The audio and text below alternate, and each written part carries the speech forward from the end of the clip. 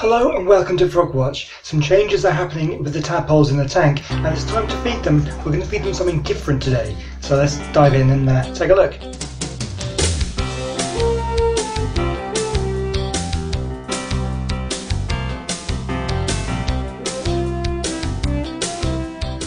The first thing you'll notice is the tank looks a lot greener than last time. Unfortunately, algae has taken hold and is growing a bit out of hand. I've not had this kind of algae growth before and I'm not sure what's caused it. Maybe the position of the tank puts it in the sunlight more than it should be, or perhaps the nutrients in the tap water that I've been using is contributing to this. But if I put my hand behind the tank, you can see the water itself is crystal clear. It's just the surface of the stones that have the algae growth on it. But that's not what I wanted to show you this week. There's more interesting things to look at. Here it is. The tadpoles are beginning to grow their back legs.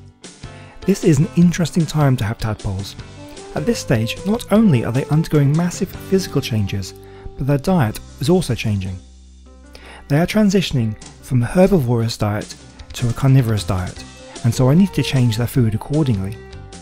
I will still give them spinach leaves to feed the tadpoles that aren't quite as advanced as some of the others, but for the tadpoles with back legs, I'm going to feed them some boiled fish. To do this, I boil a pan of water and cut off a small piece of frozen cod. I place it in the boiling water just for a couple of minutes, just enough to soften the fish meat. I cut the boiled fish into a couple of pieces and put it into the tank. Amazingly, it only took a few seconds before the tadpoles noticed it and the feeding frenzy started. Well, they seem much more excited about the cod than they ever did with the spinach, but I mean, who can blame them? The tadpoles without legs, they'll still want to eat this fish, even though they don't necessarily need to. Other food you can feed them at this stage could be the brine shrimp or bloodworm, both of which you can easily get from a pet shop, but I found the cheapest and easiest food is this frozen fish, you can easily get that from the supermarket.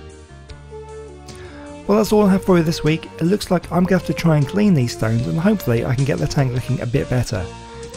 So I hope to see you next time here on Frogwatch and we'll see how much more the tadpoles have developed. And I'll see you then. Goodbye.